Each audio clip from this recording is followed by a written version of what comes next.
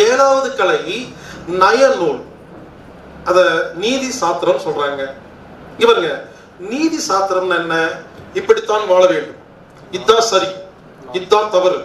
கொலை செய்யாதே. பொய் சொல்லாதே. அடுத்த பொருளை திருடாதே. இதெல்லாம் நீதி சாத்திரங்கள். எல்லாம் கவனிங்க. முக்கியமான விஷயம் சொல்றேன். நீதியில் என்னன்னா ரூல்ஸ். இப்படித்தான் வாழணும். இப்படி வாழக்கூடாது. இப்படி பண்ணா தப்பு. கரெக்டுன்னு இந்த ரூல்ஸ் எல்லாம் எழுதி கொடுத்தா இதுக்கு பேர் நீதி வருங்க. நல்லா கவனிங்க. நீதி என்பது வேற தர்மம் என்பது வேற. ஏழாவது நீதி நூலா பாருங்க அதுக்கப்புறம் ஒன்று இருக்குது. தர்மம்னு ஒன்பதாவது.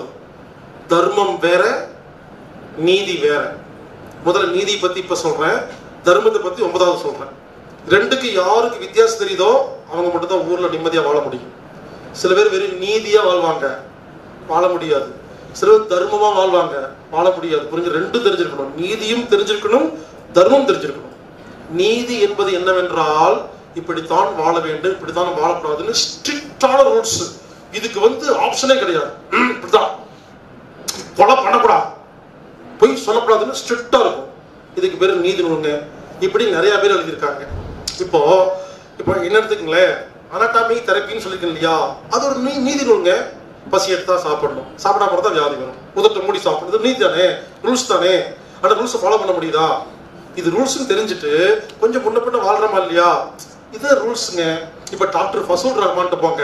நான்வெஜ் சாப்பிடுங்க ரொம்ப நல்லதுன்னு சொல்லுவாங்க நீங்க வளராட்டு போங்க சாப்பிட வேண்டாம்னு சொல்றாரு. ரெண்டு பேருமே நீதி நூல் எழுதினவங்க தான். நல்லா கவனிங்க. முக்கியமான விஷயத்தை புரிய வைக்கிறேன். பலரும் சண்டை போட்டிருக்கீங்க. நீதி நூலுக்கு. டாக்டர் ஃபசூல் ரஹ்மானுடைய நீதி பிரகாரம் நான்வெஜ் சாப்பிடலாம். வள்ளலாரின் நீதியின் பிரகாரம் சாப்பிடக்கூடாது. முரண்பாடு இருக்கா இல்லையா? நீதி நூல்கள்ல பல நாடுகள்ல பல ஊர்கள்ல பல தாராளம் எழுதியிருப்பாங்க. எல்லாமே முரண்பாடாக தான் இருக்கும். அதை தெரிஞ்சுக்கிட்டு படிக்கணும்.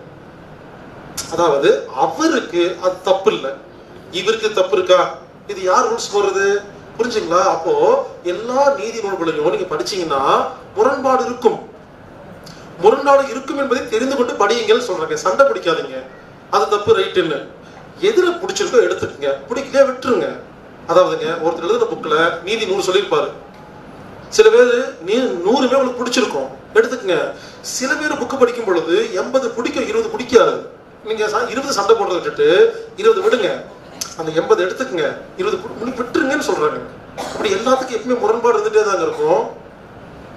எல்லாரும் ஒரே மாதிரி சொல்ல முடியாது. அவங்கவங்க நாலேஜுக்கு அவங்க தெரிஞ்சதுக்கு இதை பேசிட்டு இருப்பாங்க. அதனால நீதி நூல் என்பது ஒரு ரூல்ஸ் இருக்கு. இந்த ரூல்ஸுமே ஒரு உன்- ஒரே ரூல்ஸ் கிடையாதுன்னு சொல்றேன். ஒவ்வொரு நாட்டில் ஒவ்வொரு ஊர்ல வேற. இப்ப தமிழ்நாட்டில் வேற ரூல்ஸுங்க நீதி. நீங்க சவுதி அரேபியா போங்க. ஒரு ஆண் நான்கு பெண்களை திருமணம் செய்து கொண்டு ஒரே வீட்டில் குடும்பம் நடத்தலாம். இதான் சவுதி அரேபியா ரூல்ஸ் நீதி நூல். இங்க முடியுமா? ஜெர்மன்ல போனீங்கன்னா பிரான்ஸ்ல போனீங்கன்னா ஒரு ஆணும் பெண்ணும் ஒரே வீட்டில் திருமணம் செய்யாமல் ஒன்னா இருக்கலாம் லிவிங் டுகெதர் கவர்மெண்ட்டே ஓகேன்னு சொல்லுவோம் நீங்க கேட்கலாம் முடியாது. அங்க வந்து ரூல்ஸ் பிரகாரம். அங்க- இருக்கிற கவர்மெண்ட் சட்ட பிரகாரம் திருமணம் ஆகாத இருவர் குழந்தையை பெற்றுக்கொள்ளலாம் ஒன்றாக இருக்கலாம். யாரும் கேட்க மாட்டாங்க. இதுக்கு போய் நீங்க போலீஸ் கம்ப்ளைண்ட் பண்ண முடியாது.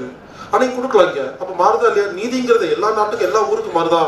மதம் ஜாதின்னு. சோ நீதிங்கிறது நல்லா புரிஞ்சுக்கங்க. நீதிங்கிறது மாறிட்டே தான் இருக்கும். ஏன்னா அவங்க அவங்க ஸ்டைல சொல்லியிருப்பாங்க. நீங்க ஒரு ஃபில்டர் வச்சுக்கோங்க. நானும் ஃபில்டர் வச்சிருப்பேன். எனக்கு அஞ்சு குருநாதர் இருப்பாங்க பத்து குருநாதர் இருப்பாங்க. இந்த குருநாதர் நான்வெஜ் சாப்பிட்டுக்கிறாரு அந்த குருநாதர் வேண்டாங்கிறாரு.